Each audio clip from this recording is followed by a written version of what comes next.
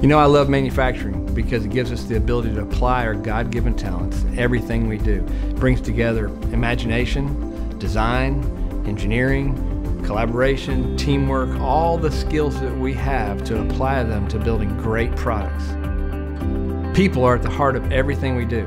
And uh, we get the privilege to come to work every day to help both our teammates and our customers prosper both personally and professionally, and to give thanks to our Lord for His provision.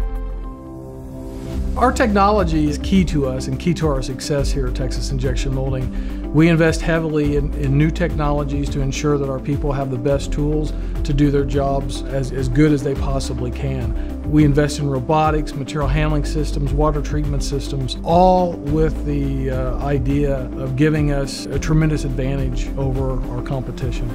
Hiring the best people, maintaining good manufacturing processes, and giving those people the technology and the tools to do their job, that's our strategy. What makes us different, what makes a good company a great company, in my belief, is the culture.